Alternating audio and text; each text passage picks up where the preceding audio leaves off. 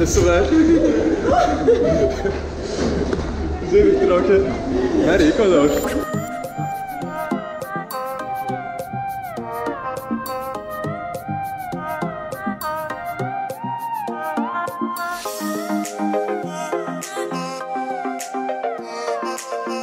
We gaan vandaag voor de eerste keer naar Susudel.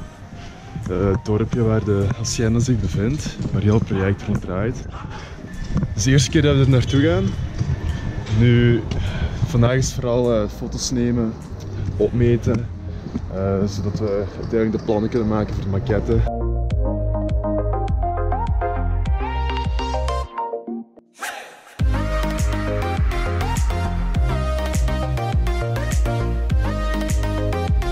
We zijn nu in Susudel voor de workshops met de eh, lokale bevolking. Samen met hen gaan we spel spelen, zodat we erachter kunnen komen wat ze precies willen binnen het project van Hacienda.